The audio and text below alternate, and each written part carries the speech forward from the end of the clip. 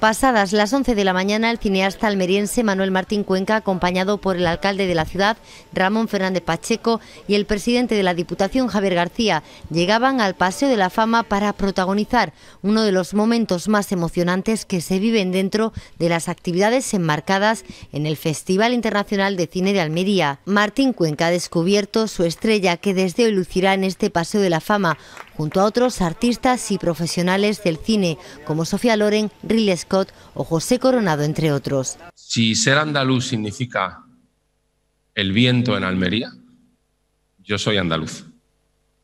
Si ser andaluz significa las secuencias de, mm, que yo pude rodar en, en los hermosos paisajes del Cabo de Gata, yo soy andaluz.